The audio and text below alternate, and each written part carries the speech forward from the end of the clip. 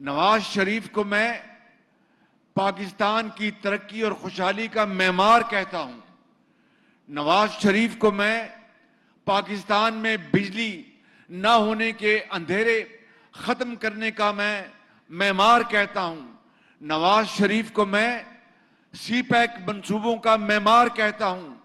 नवाज़ शरीफ को मैं पूरे पाकिस्तान में सड़कों का जाल बिछाने का मैमार कहता हूँ मैं। नवाज़ शरीफ को मैं पाकिस्तान को तरक्की और खुशहाली के रास्ते की तरफ़ तेज़ी से ले जाने का पूरा उसको मैं, उसका सर पे सेहरा है।